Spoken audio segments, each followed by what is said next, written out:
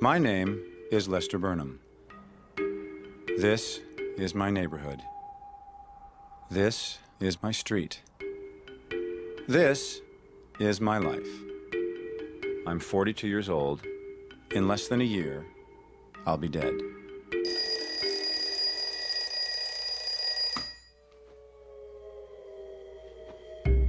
Of course, I don't know that yet. And in a way, I'm dead already.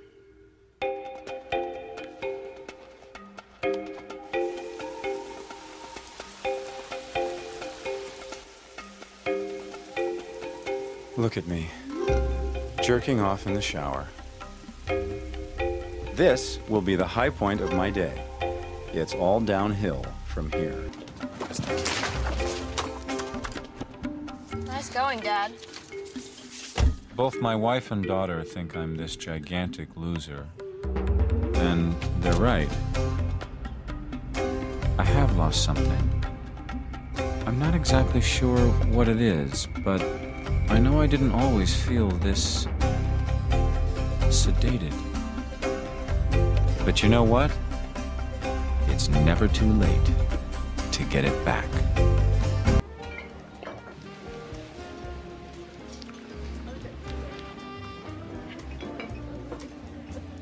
Party? Excuse me? Do you get high? Lester? What are you doing? Honey, this. Ricky. this is Ricky. I'm Ricky Fitts. I just moved in the house next to you. I go to school with your daughter. With Jane. Yeah, Really?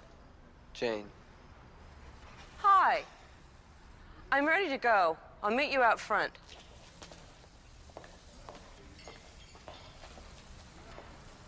Oh, I'm in trouble.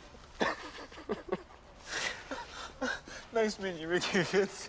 Thanks for the thing. Anytime. Lester, if you want any more, you know where I live. Hey, guys. Lester, I didn't know you ran. Well, I just started. Good for you. I figured you guys might be able to give me some pointers. I, I need to shape up fast. Are you looking to just lose weight, or do you want to have increased strength and flexibility as well? Hey, I want to look good naked. There must be some way out of here. Say the joker to the thief.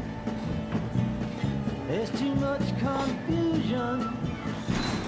I can't get What the hell do you think you're doing? Uh-oh. Mom's mad. Bench presses. I'm going to wail on my pecs, and then I'm going to do my back. I, I see you're smoking pot now. I, I'm so glad. I think using illegal psychotropic substances is a very positive example to set for our daughter. You're one to talk, you bloodless, money-grubbing freak. You have such hostility in you. You mind? I'm trying to work out here. Unless you want to spot me. Lester, you will not get away with this. You can be sure of that.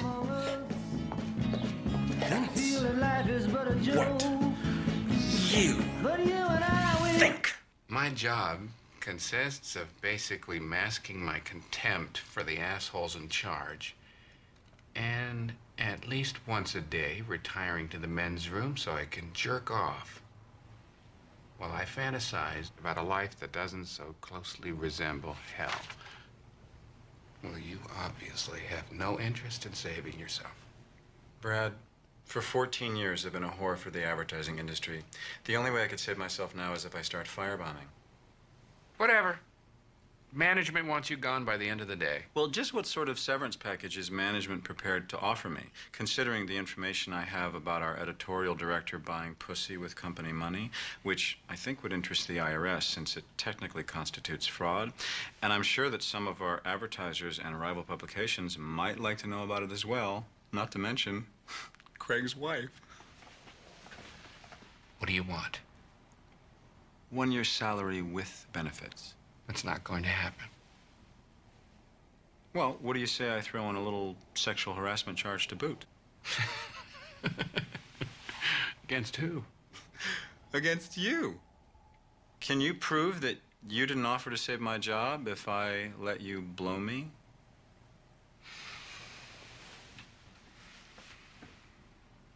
Man, you are one twisted fuck.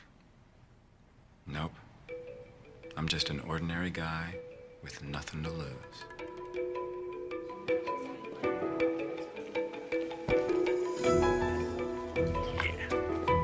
That'll be 498, please. Would you like some smiley sauce? No, no, no. Actually, I'd like to fill out an application. There's no jobs for manager, it's just for counter. Good. I'm looking for the least possible amount of responsibility. I don't think you'd fit in here. I have fast food experience. yeah, like 20 years ago. Well, I'm sure there have been amazing technological advances in the industry, but surely you must have some sort of training program. Seems unfair to presume I won't be able to learn.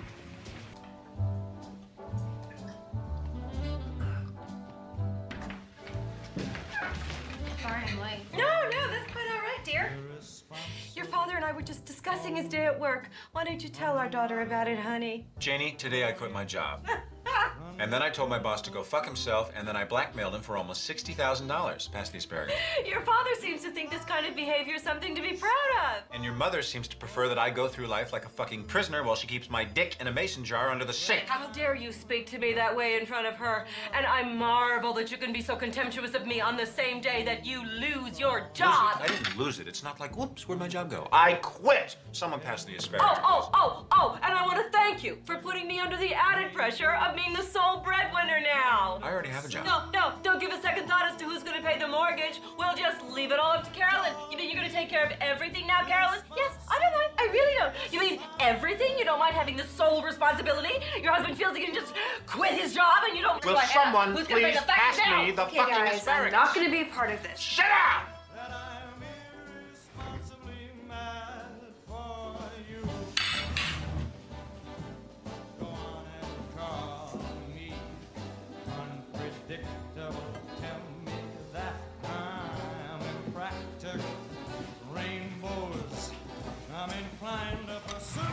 I am sick and tired of being treated like I don't exist. You two do whatever you want to do, whenever you want to do it, and I don't complain. Now, all I want Oh, is you don't same. complain? Oh, please, excuse me. Excuse me. I must be psychotic then. If you don't complain, what is this? Yeah,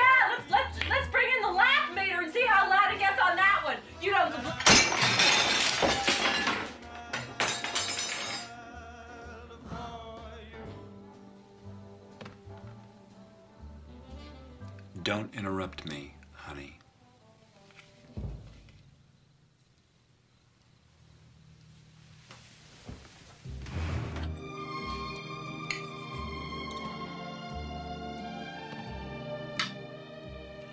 And another thing.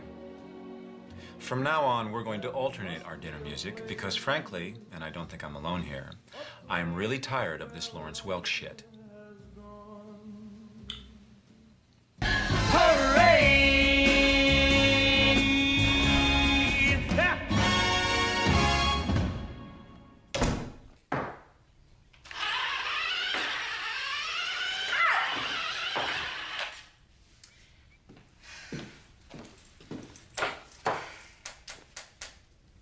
What?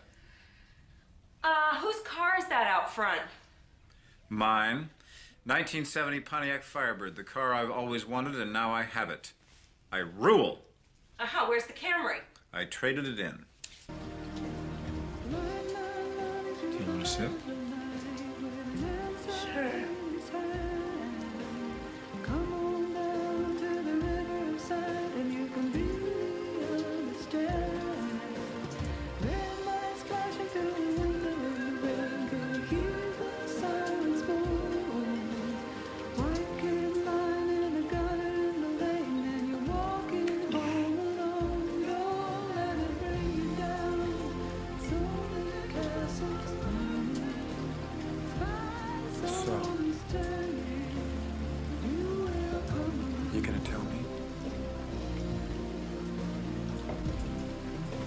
What do you want?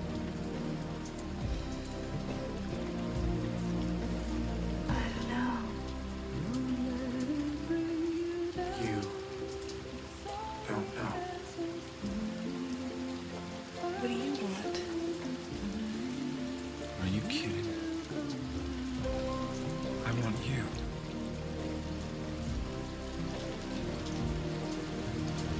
I wanted you since the first moment I saw you.